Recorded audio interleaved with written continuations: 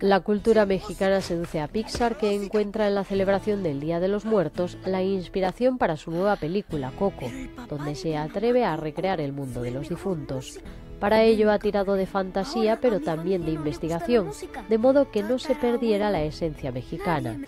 En uno de sus viajes de exploración, su director Lee Unkrich descubrió Guanajuato.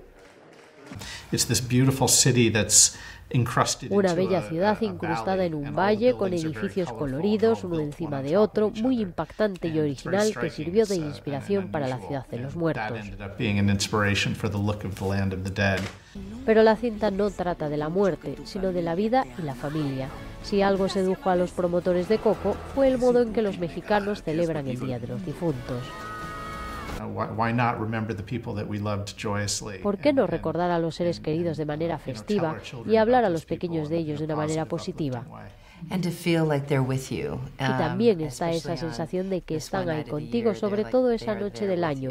Creo que eso es muy edificante, añade la productora Darla Anderson. Coco es una cinta deslumbrante, un canto a la familia y a la cultura mexicana, también en la banda sonora, que llegará a los cines estas Navidades.